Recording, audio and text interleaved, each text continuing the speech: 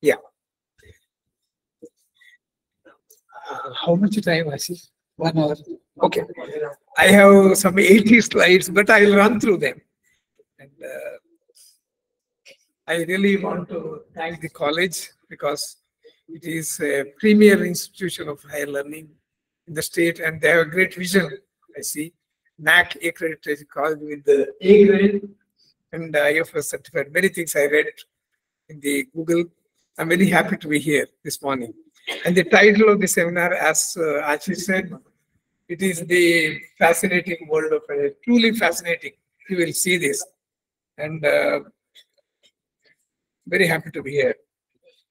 The title of my talk, I said, the fungal world as we know. I wish to address this under four subheadings.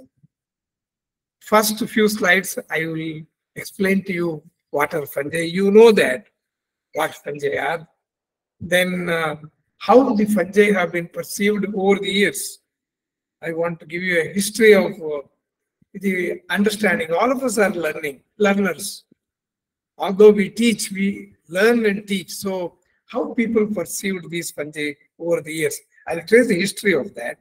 Then how the fungi are recognized. Again, the taxonomy part. That's what we are working a great deal.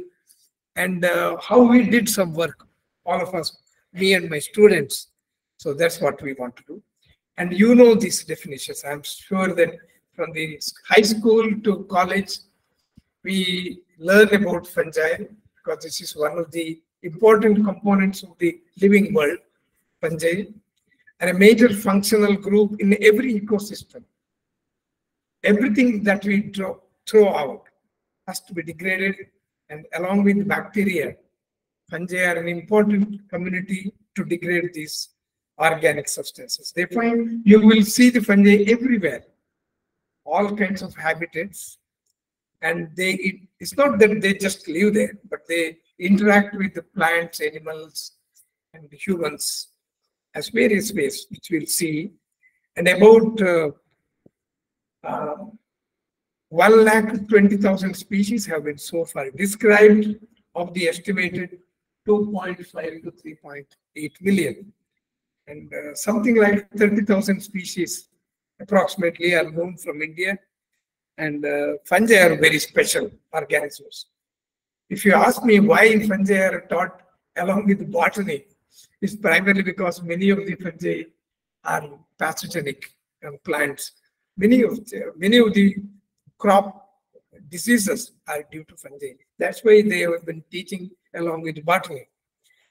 In nature, fungi are a separate kingdom of their own. Um, they are, you will see from unicellular to filamentous, the mycelium, most diverse organisms compared to any other organism. They are heterotrophic, although we keep in the plant kingdom, they are achlorophyllous. And uh, that's why they are neither plants nor animals. Their cell wall, unlike plants, their cell wall contains chitin and they subsist primarily by absorptive mode of nutrition. I mean, they secrete their enzymes outside, digest the organic material, then they absorb them. And they reproduce by both sexual and asexual forms and by tiny spores. It's all known to us. Ecologically, they even outstrip their ability to degrade the organ organic matter. They outstrip even bacteria. Um, you will see them everywhere, terrestrial, aquatic, endophytic, and so on. Of the two major groups of living organisms, plants and fungi, if you compare them, this is the kind of numbers we see. In other words, in the plant kingdom, we know quite a lot about them. Whereas fungi, we know only 5 to 7% of them. And uh, within the fungal kingdom, um, there's a big number. And World taxa. Uh, I have given a list here. If you see only the world fungi and Indian fungi, we know very little about them. And these are these numbers are they keep on changing because as and we describe newer fungi, the number will increase. And this is the traditional classification, which we see in our textbooks in the classroom, textbooks. Uh, Webster's classification, if you say, 1983. Plant kingdom is divided into, um, you know, fungi are classified as a subkingdom in the plants. And then Myxomycota, the slime molds, and the Eumycota, true fungi. Slime molds are already removed out of the fungal kingdom. And uh, within the Eumycota, again, there are fungi which part, the lower fungi, some of them have moved out. I'll show you the next slide. And uh, if you see the modern classification, oomycetes and slime molds are already out. And uh, the true fungi are only the chytrids, zygote forming fungi, then vesicular, arbuscular mycorrhizal fungi, then uh, ascomycetes and basidiomycetes. These are only the one in the present system. They are said to be the true fungi. Oh, that's the classification. And uh, that is the first one, what fungi are. Now the second part, which I said, how fungi have been looked over the period of time. Historically, if you see, fungi did not merit well in the beginning. The perception was that fungi are not good organisms. They are really bad organisms because they cause major plant diseases like rust, smuts, mildews, blights, and so on. All plant major crop diseases. Then fungi also spoil the food in storage, food deterioration, mushroom poisoning, all this, everything they do destructive activities. They inflict some serious human and animal diseases called as mycosis. So in 1883, Cooke and Berkeley, two uh, famous mycologists of those days, they wrote, except those which are employed for human food like mushrooms and yeast, very few fungi of any practical value. This was the statement made in about uh, 150 years ago. Then, why they did this? If you see from the historical times, Irish potato famine, then 3030s, there's a Puccinia graminis on wheat in the American continent during 1930s, 10 years period. They destruct, it was so destructive on wheat, so they called those that particular decade as dirty 30s. And Wollo famine in Ethiopia. In 1983, there was a famine due to Claviceps purpurea on Eragrostis tef. Their uh, principal crop it was. Then Great Bengal famine is in India. Helminthosporium oryzae on rice. Then mildews on grapes. Uh, uh, downy mildews on grapes. All these were said to be most destructive diseases those days. So uh, this is why uh, this was the reason why fungi were considered to be very bad organisms. And not only that, fungi inflict major crop diseases and curtail agricultural productivity. If you see, lots of them are fungal diseases in the plant system. And besides, even post-harvest, like fungi deteriorate fruits and vegetables, they spoil bread. If you keep the bread for a couple of days, you will see bread mold, fruit rot, moldy cheese. There are so many types of that. That is on the plant system. Even human system, if you see, some of the fungi cause dreadful diseases, uh, superficial, subcutaneous, and systemic mycosis, all due to fungal system. Then there are wild mushrooms, uh, uh, which are some of them are like Amanita muscaria, deadly poisonous, said to be very fatal. Then some of these fungi, uh, like aflatoxin producing ones, cause powerful toxins. So for all these reasons, fungi were said to be very bad organisms. But the perception changed over the period of time. Uh, in 1992, in a major seminal paper, Professor C.V. Subramanian wrote recent examples of harnessing fungal power for human needs highlight the massive potential and future bright poss possibilities for us. So he gave a picture that it's not really bad organisms, they are good organisms. And Bryce Kendrick, same time, uh, another world famous mycologist, he said there is a paradigm shift in our understanding of fungi that they are not bad organisms, but good organisms. So what is good? What are good about fungi? So the, I have listed here few best degraders of organic material. They degrade even plastic. They degrade hydrocarbons. So extreme, most difficult substances they can degrade. Good food.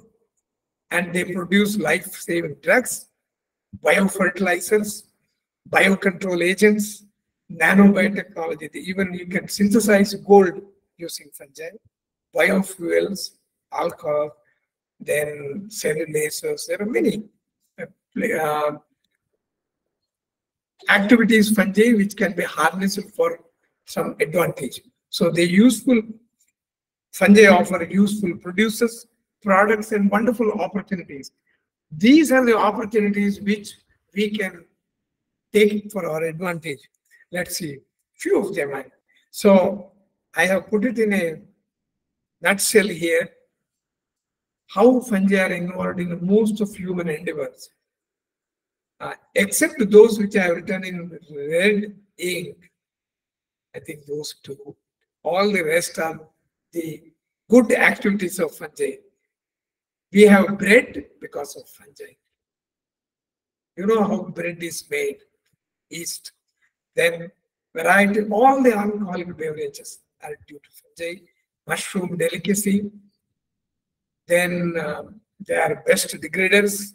And most important amongst this is the fungi in uh, production of medicines and healthcare.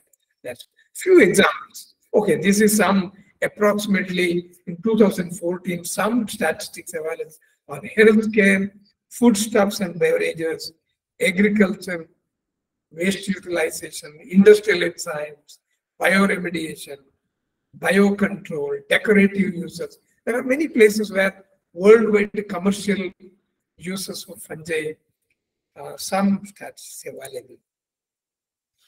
I will give just highlight major issues of healthcare. There are major milestones. If you see the history, um, discovery of penicillins, argotin, cephalosporins, cyclosporins, taxol, statins, everything are fungal products. Major drugs which are produced by a variety of fungi. I've given a few examples just to see this. Then uh, fungal secondary metabolites um, are compounds produced by an organism which is not really essential for its uh, growth, but there are um, lots of applications of these secondary metabolites. Six out of 20 most commonly prescribed human medicines are from fungi. Most famous, of course, is penicillin. We know that Alexander Fleming, who got the Nobel Prize. I'll give a few um, examples of fungal use. Ganoderma, which if you go to the forest here in the Western Ghats, you will see this. One of the most prominent uh, bracket mushrooms, uh, bracket fungi one of those. And uh, Ganoderma, it has a multi-utility medicinal fungus. And if you, I'm told that in Chinese medicines it's known from since Ming dynasty, 14th century, said to be most widely used and a kind of a wide, broad spectrum um, applications it has. Interestingly, all species of Ganoderma, without exception, you can cultivate them today. There are many uh, industries which are doing this exercise because they have got utility of them, which we don't do in India much. And uh, second one, quality cordyceps a caterpillar fungus, which is also very unique fungus. It grows on uh, insects and said to be most useful uh, in uh, medical industry. Uh, someone is growing in Goa too, this one. Um, generally, it is growing in the hilly grasslands, mostly the Tibetan region uh, and Himalayan mountains. And it's a big trade in uh, Tibet and the Chinese regions there. And this is kind of examples we have. Um, but if you see the biology of this fungus, uh, fungus infects a live caterpillar. I've written in the base here. It forces the caterpillar to burrow the soil and then this insect gets killed. And fungus grows its stroma at the tip here. We see, okay. Here.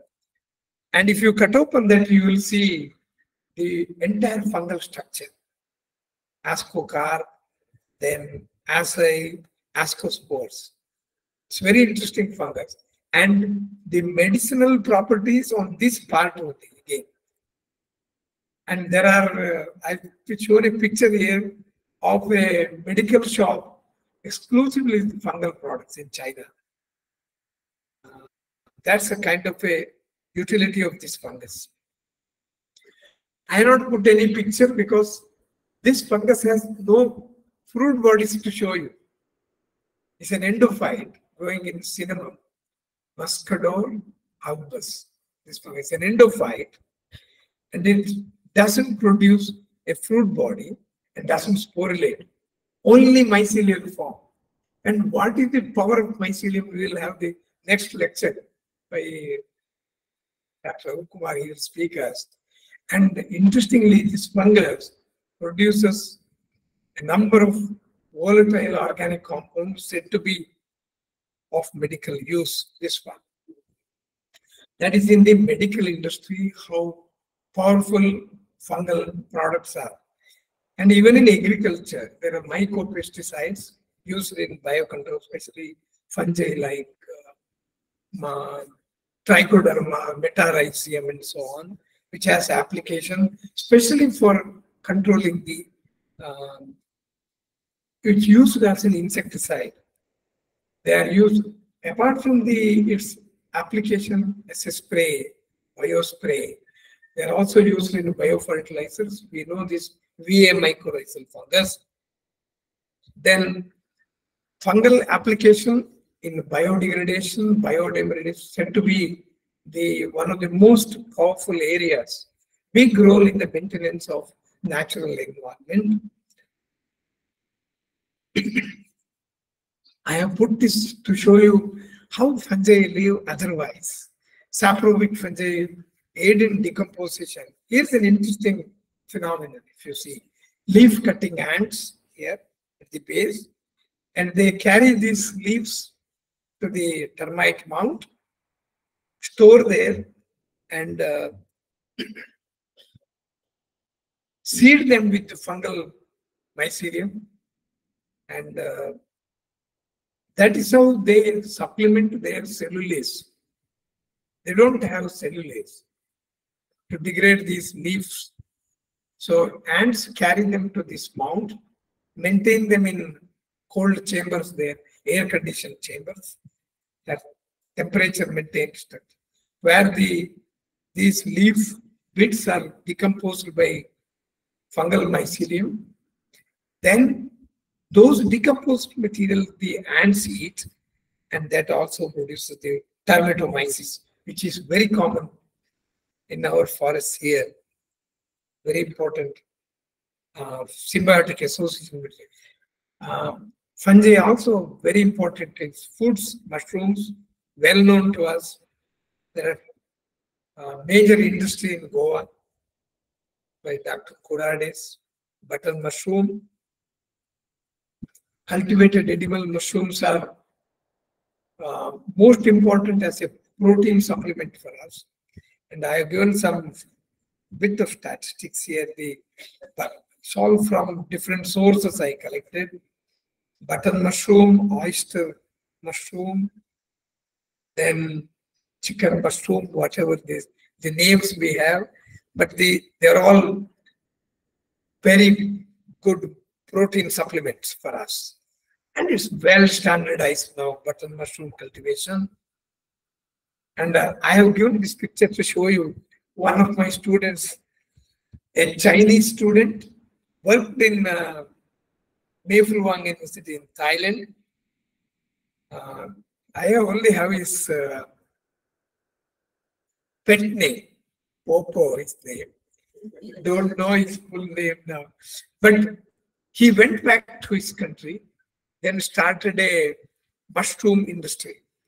This is his, uh, and he also have an, he fed with an exclusive mushroom meal that day. And uh, he cultivates many of these, including Ganoderma, you see here. Big industry he has. And most uh, important mushroom which he sells is auricularia, interestingly. That's one. There are uh, fungi as food proteins, mycoprotein, uh, supplements. No, no, we have soft drinks, myco sauces, alcoholic beer, everything. So, what I said in the beginning, people said, oh, fungi are very bad organisms. That's not true. They are really very good organisms. Yeah. And uh, I have put this slide is from uh, Dr. Keith Seifert's slide I took. True is a peculiar name. Tea is a fungal fermented product said to be the most lovely tea in the world today. And this is with a fungus called Aspergillus acidus. Aspergillus acidus is actually a pathogenic fungus in human pathogen. But interestingly, when it is fermenting this tea, said to be produces one of the most beautiful teas. Fungi are robust organisms because of their mycelia, which we will learn in the next lecture. More about it. Fungal mycelia the most versatile. They can grow so fast and uh, so thick and produce their enzymes, and they can invade most difficult hardwoods. Fungal mycelium. Oh. They can be grown very easily. Fungi can be grown uh, in any in nutrient media and utilized for all kinds of applications. Um, you can produce fungal fermenters, which I'm told that available in thousands of liters now, where you can get huge biomass and huge amount of secondary metabolites. Everything can be done in a span of two to three weeks now. So fungi offer wonderful opportunities. Fungal biotechnology has great potential. People like us, fungal taxonomists, you know, we can do very little, of course, that we can collect fungi from different places, identify them, culture them. This is what we do, and uh, put them in repositories, culture collections. And when these culture collections have a large collection, that is the source for fungal chemists and biologists, where they can use them for fungal biotechnology. This is the summation of how this interaction takes place. That is, we can isolate the fungus in culture, study them, maintain in repositories. There are um, two now well-known, well-recognized, and most powerful two repositories in the country. One is in Pune, Agarkar Research Institute, the National Fungal Culture Collection and Microbial Type Culture Collection uh, in Chandigarh. These are the two ones, and they have got a great role to do. Not only they are safe deposit of fungal cultures, Then they also do taxonomic identifications. There are excellent taxonomists there in Pune and uh, Chandigarh now. Interestingly, all of them are known to us and our students also, some of them. And they also do timely supply of these pure strains to industries. Okay, that's the second. Uh, I have quickly run through these two rest parts. How fungi are recognized? I spoke about this few days ago, uh, courtesy Dr. Damodar in a talk, but I just put those slides here to tell you. Um, Fries is like Linnaeus in plant kingdom, said to be the father of mycology. So the starting point for fungal classification and identification is Elias Fries, uh, Swedish botanist. And uh, remember those days, they had very crude microscopes. Today we have most sophisticated ones. So someone sees them using a small, like a hand lens, something remarkable it is. So Fries divided the fungi into four classes those days. Can read this. I'm sure it will be available later on for you. How they distinguished fungi primarily by seeing how they look like. So their morphology, color, and structure, basically. That's what they took the. So that's how they named them. For example, Fries divided the fungi into four classes. Coniomycetes, Hyphomycetes, Gastromycetes, Hymenomycetes. So all those conidia, small conidia, the name was given because conis means dust, dust particles. So that's how they call them conidia. And all those do produce the dust particle like spores. They group them in coniomycetes. And uh, those which are producing filaments with some structures, fruiting bodies, they kept in 1821 in hyphomycetes. Gastromycetes with kind of a coelom. They got some kind of cavity inside. So enclosed hymenia, uh, like puffball, you know, that's one. They could open them gastromycetes. Hymenomycetes with a cap with an opening, exposed to hymenia. So very crude classification, but they made an effort. That's what we should admire. We can't say, oh, they did not did well because those days, as Ashi said, we walked those days barefoot you know, when we were young. But you should admire that kind of, you know, understanding they had those days. Later, with the microscopic evidences, they modified these classifications. And I put few names which I believe they are, their contributions are most important, like ACJ Corda, Tulasne brothers, C.R. Tulasne and L.R. Tulasne. My professor used to tell those days that their contributions are much more than us, ours, because those days the facilities were very meager and the stress was more than, but simply because of their passion for this study, which the last slide I have put again, this one. Um, Corda's name I value very much because he was the first one to use microscope to study the fungi.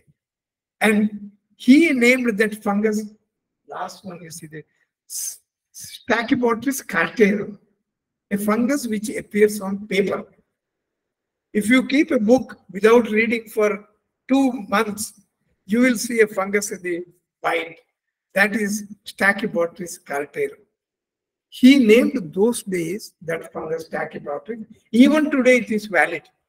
That means his identification, characterization was most perfect. And Tulasne brothers, two brothers, did most some lovely illustrations of the complete fungus or holomorph with sexual and asexual states said to be most important contribution those days. Then the development of mycology, taxonomy, we I like to group them into three eras. Saccardoan era, Hughesian era, and modern era. Saccardoan times are that time, but people did a great deal of contribution those days, like Clements and Shear, Saccardo. Look at this Saccardo's contribution. He wrote all, what he did was, he compiled all the knowledge available until then and put them together in 24 volumes. And all the fungi which were described in different languages, he Latinized them. Single language. He wrote 22 volumes, and last two volumes were written by his son, a doctor, a medical doctor. He compiled them as a tribute to his father. So, since Fries up to Saccardo, most uh, wonderful contributions. Clements and Shear, that book was available for us for reference, Genera of Fungi, until then. So those are the, that's the time, the earliest period, we call them as Saccardoan era. Then 1952, Hughesan era, I think I have a few couple of slides more. And he, Hughes, what he did was, what we see is not enough, but the development of the fungus also should be a criteria. And modern era is the molecular data available. That's David Hibbett's time. So I few slides I have. Saccardoan era, I said, color and type of fruit body. These are the two important criteria. And those days he published 140 papers. Not a small effort it was. It's a big contribution. He classified them and he called his classification as chromotaxia because it was primarily based on color those days. And it's, set, it's, it's a, truly is an artificial system, but first pragmatic effort. That's why we respect that contribution in a big way. Then, okay, that's the classification of the Saccardoan based on that. Ainsworth and Bisby's classification. 1971 it was. And it is, even now in the textbooks, you will see this classification. Then, over the period of time, fungal taxonomic studies evolved. So, microscope was the major tool used. Um, the thinking is that we should see the my fungus how it is growing. Ontogeny recapitulates phylogeny. That development reflects the phylogeny. That is what they try to do. And some interesting tools were available. If today we don't see them. Riddell slide culture technique, which we use in a big way to see how the fungus is growing. Then Hughesan era. First was Saccardoan time, then Hughesan system. 1950s, morphology and development. These are the two important criteria. Stan Hughes, he uh, died just uh, two years, one and a half years back, at the age of 101. Yeah. And, uh, I, I met him once, big man, he was in Panjay. Uh, his contribution is primarily how the fungus is growing. That should be the criteria. That's what he said. And it, it was applicable primarily for conidial fungi, but he used it for the sexual morph also. And Professor C.V. Subramanian. Uh, we are very proud, both of us, myself and Dr. Kumar, because it's one of the giants of mycology those days. And this is a uh, major issue which uh, Hughes proposed that uh, asexual, asexually reproducing fungi produce their conidia in different patterns. Six to seven kinds of conidium developments were recognized. And they call them in different names like arthric, blastic, phialidic, and so on. I'll not go to details of them, but these were useful to us for classifying the fungi. And 1950s to 1990s, numerous fungi were. That was said to be the golden period in describing the fungi. Uh, many labs, even in India, did lots of work. And outstanding contributions from world over, you will see names like M.A. Ellis, Professor C.V. Subramanian, Tubaki from Japan, Ellis is from England, then Matsushima from Japan again, Carmichael and Kendrick from Canada, Minter, David Minter from uh, Kew, again from England. They contributed in a big way for the understanding of fungal diversity. I kept this name Bryce Kendrick separate. If you go to Google and write mycolog.com, you will get his book, Fifth Kingdom. You must see this book because it, you can freely download this book because he says it's not any copyright because I want more people to read. Like, just like what Dr. Damodar says. Uh, more people we tell this information so the knowledge goes around in a big way. Bryce Kendrick is also one of the top class mycologists because he's the one tried in 1980s unify the asexual and sexual fungi. That I have put one paper here, one of his subdivision Deuteromycotina is a fungal chimera.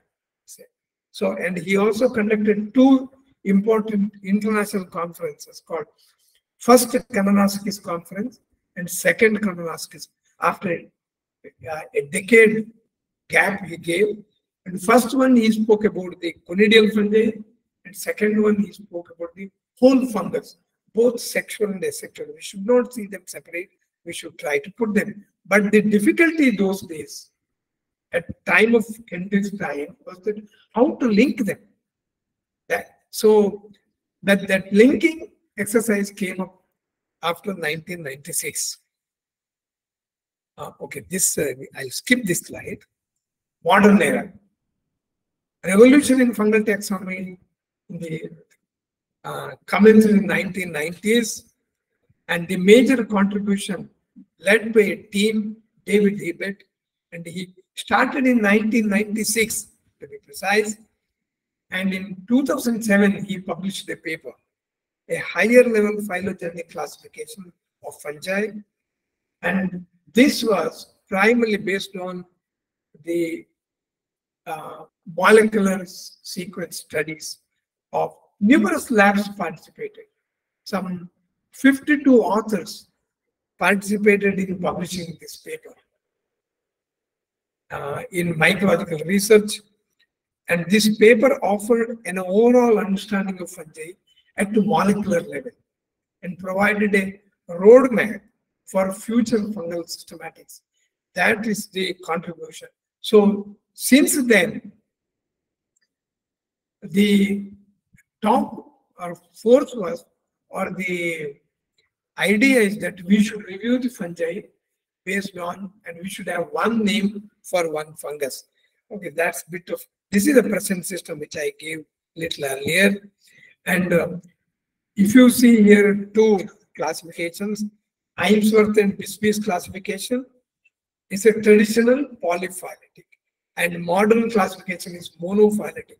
So this is what is the requirement in future and this is possible only only if you supplement your morphology with phylogenetic studies based on molecular sequence data.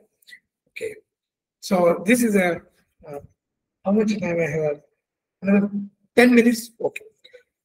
So, how? So, I gave you something about what people did around. Now, bit of work what we did together. Uh, I started my work in 1975. I said this a few days ago in another talk. My professor, what he did was, when I joined for my PhD, he gave me two cultures, two tubes he gave me, test tubes with the fungal culture. Both of them were named.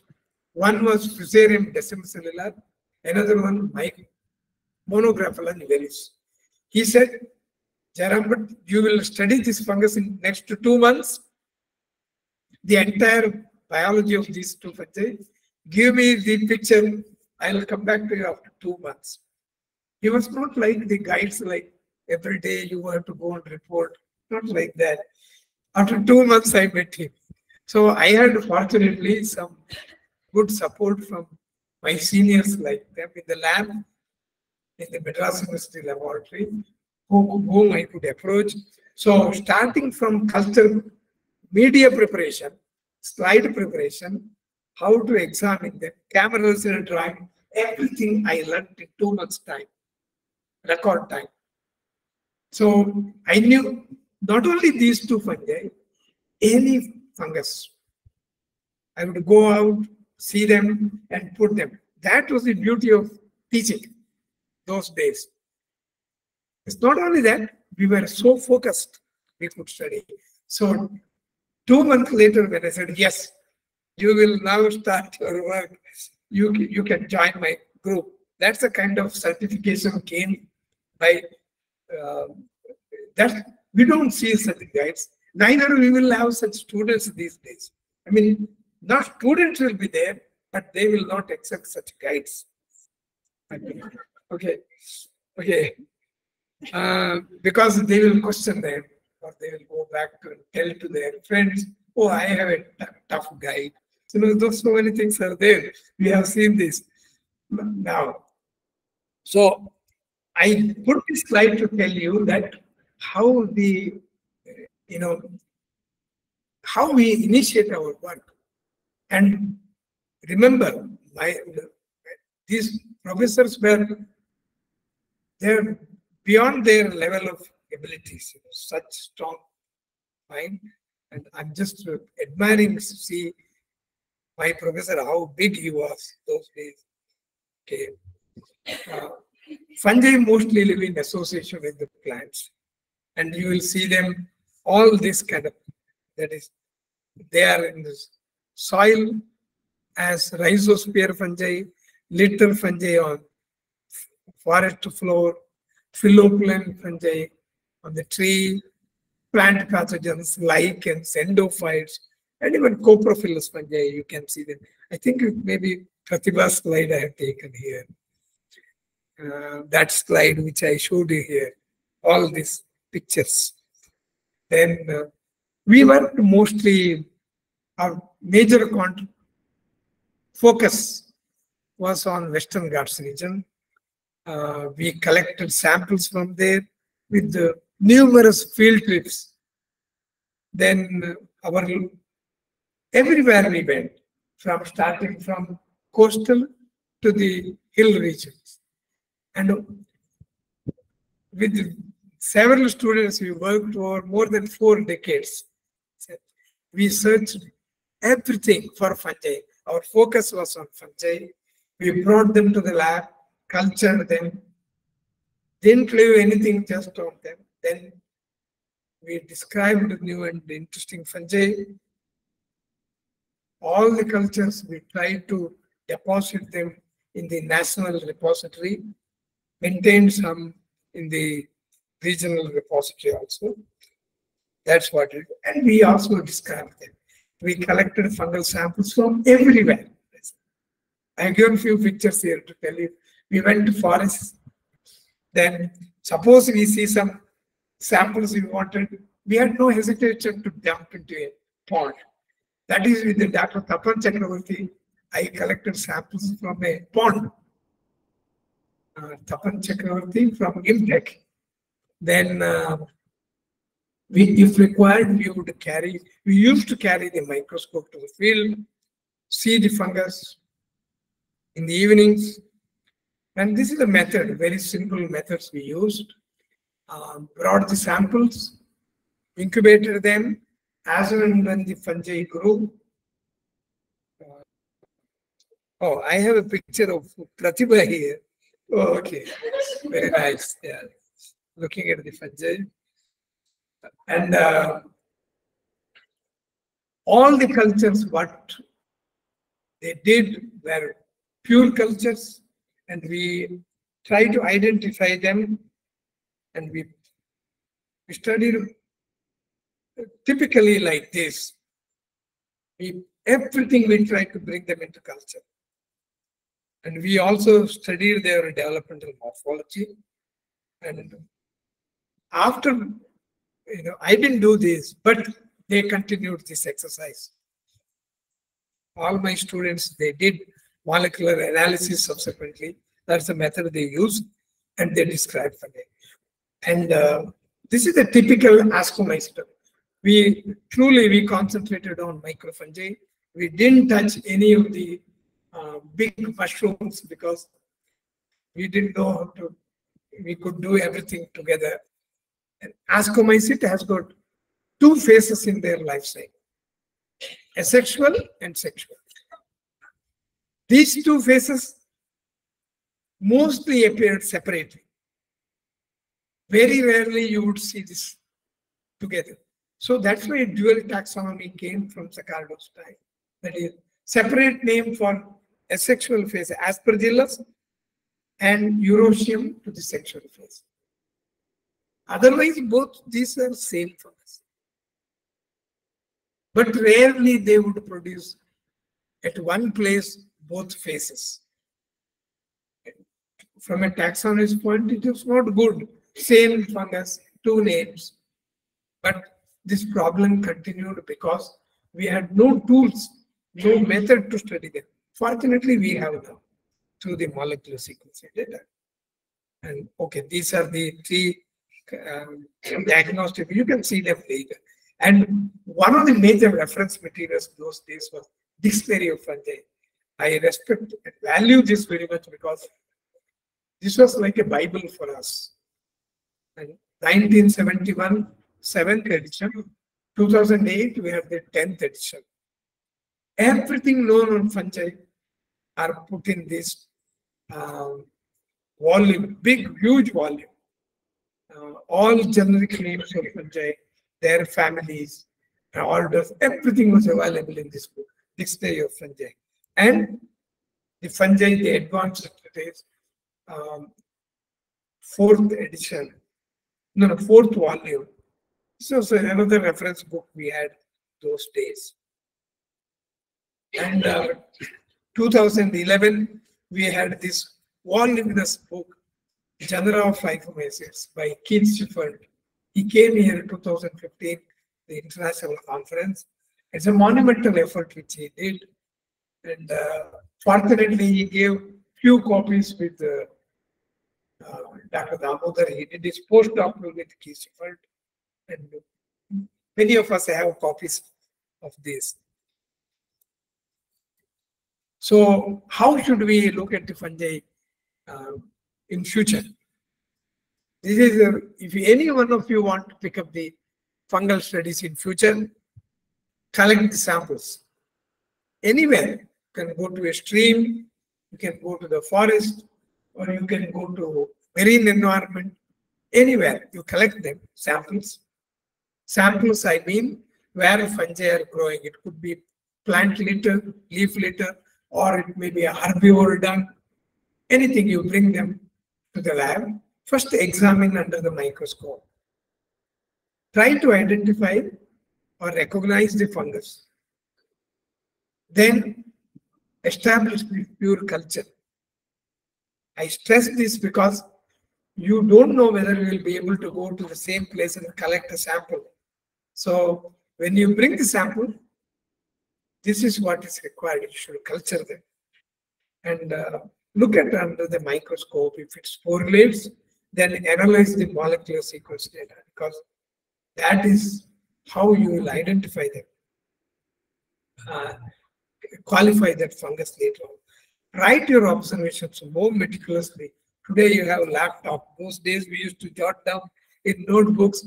My professors used to ask them, show us your notes, what you have written with the dates. So then you should interact with the collaborators.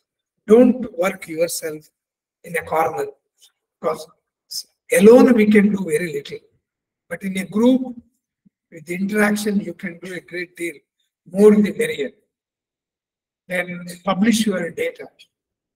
All your observations in good journals. I say this primarily to teachers also because if you don't publish, you will not be known. It's not for, uh, if you publish your data, you get confidence. Oh, maybe if it is not a published material, it will come back to you. Reviewers will not accept it. But if you don't make efforts, you will not. Normally in the colleges, it's not a criticism, but it is a kind of an observation that one or two papers we publish because that is required for promotions. That's not enough. You must publish so that we are known around. Publication is one of the important criteria for a researcher. There are uh, several labs working. You, should, you can interact with them and ask them for help. These are few new fungi which we described over the years. Few of them. Then uh, I have few examples, and most of these examples are from my students. Uh, this is the first fungus that I described in 1977. Bahusutra Bija Dvaya in 1977. We published in the Canadian, in Canadian Journal of Botany in uh, those days. And today this fungus genus has five species. Means it's a very strong fungus, very strong genus. And uh, the sequence data of this fungus is done by Dr. Damodar much later. Uh, the, the few slides here from Pratibha and Puja, no, no, Pratibha and uh, Ashish, I have put here. Um, a few of those publications. This is Ashish and Pratibha, 2017. Look at this fungus.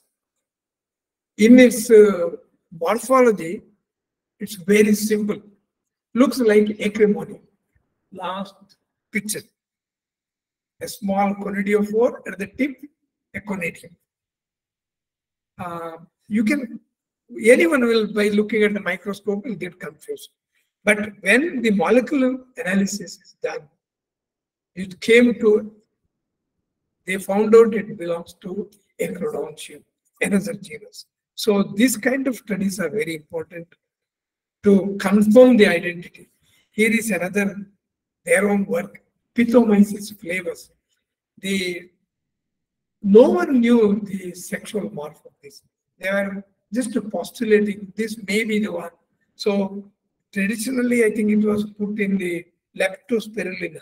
That's where they kept. So they confirmed its uh, sexual morph in Astrosphaeriella based on molecular studies. This genus was described in 1956 by Professor Subramanian.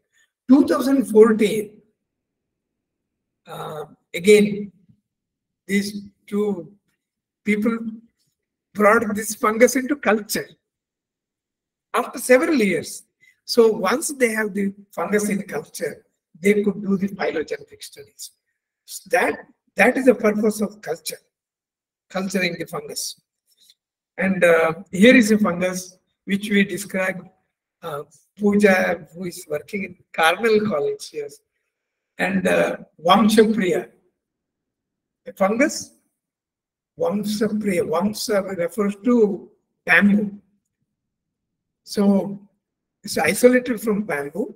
2007, we isolated the asexual wall and studied that fungus. And 2016, another student of us, CC her name, she brought studied the sexual morph separately, but we could put them together single way later. So many such fungi have been described over the period of time. So all their work and culturing and phylogeny studies, it's also duplicating the scientific names. That is the purpose of this, this kind of work. And we have number of these like Torula goanensis, again a new fungus from Goa. And uh, these are some of the you know lovely fungi which I see. Natarajania indica. We named after a professor, a giant in mycology uh, from Madras University, Professor Natarajan. And this fungus is very interesting because it has got a, it's a phialidic one. It has got a collar which is very long. And very curious fungus which we know it's full morphology and uh, phylogeny today. Rattania setulifera again described by Ashish. And uh, this fungus grows on cane, isolated from here. And this is probably my last slide. Fusicola we recently we wrote this paper, 2020. Um, again, Dr. Singh from Pune. Together we wrote this fungus. He said, as a tribute to Dr. Hughes for his huge contribution to taxonomy of fungi. Stan Hughes, fungus we dedicated him. Fungal biodiversity studies over the period we uh, we did lots of work. It's a continuous work. Diversity studies, not okay. We have finished this. No more fungi we will describe because everything is over. No, we know only five to seven percent of them. So, number of students can work in future. And this is my last line. I will take one minute extra here. I advise all the young students and scholars interested in fungi to cultivate not only fungi but these points. You should have a profound interest in the subject and passion. I think that is what is a driving force. For, should have an innate passion and dedicated work culture and focused enthusiasm. Then only we will be successful. Um, nothing else will help you. Um, as a student, and as a every one of us are students, including me. All of us, unless we have that picture in the mind, we will not learn. So that's my advice for all these young people here that develop interest in the subject and uh, have a passion and focused work. Science demands these things, studies. Microscope-based morphology holds good in fungal But when it is supplemented by molecular studies and uh, phylogenetic analysis, we'll have the complete taxonomy of fungi. I look forward some of you to take up this. And uh, I really credit this, uh, you know, most of these pictures I have taken from elsewhere. I have put here two small pictures. Uh, I teach in one high school. Sometimes I go and teach called Vishnu Gupta Vishwavidyapitam in near Gokarna. Uh, it's a very interesting high school where they teach even Sanskrit. Primarily, that's their focus, but they also teach modern biology, uh, science. It's a high school, so once in a while I go and spend my time there, just to enjoy the company of those kids there. Then uh, I also want to thank uh, this institute, which is now funding me, King Saud University, Riyadh. They have given me that fellowship. And I want to thank all of you here, especially the Dhempe College uh, management for this opportunity and my friends here. Thank you very much.